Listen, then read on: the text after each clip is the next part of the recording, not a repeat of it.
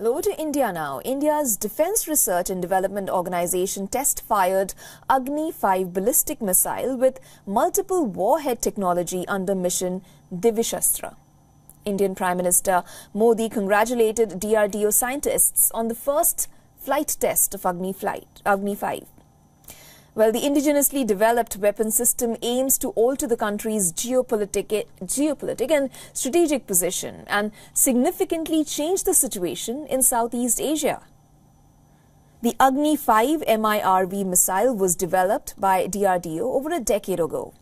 The new weapon system has multiple independently targetably re-entry vehicle technology, also known as the MIRV technology. The tech enables a single missile to deploy multiple nuclear warheads and hit targets at different locations. Earlier, this technology was limited to just five countries, which are the UK, the US, Russia, France, and China.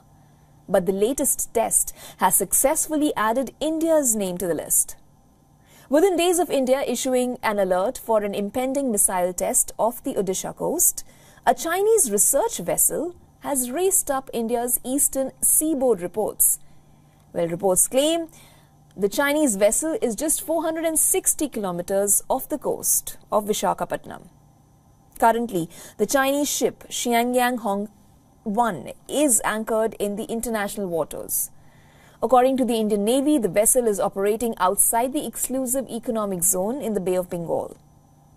Intelligence inputs indicate that the spy vessel is bound for Sri Lankan port for operational turnaround, even though Sri Lanka declared a one year moratorium against survey vessels last December. Reports claim the Ranil Wickremesinghe government is under pressure to allow the docking. For all the latest news, download the WION app and subscribe to our YouTube channel.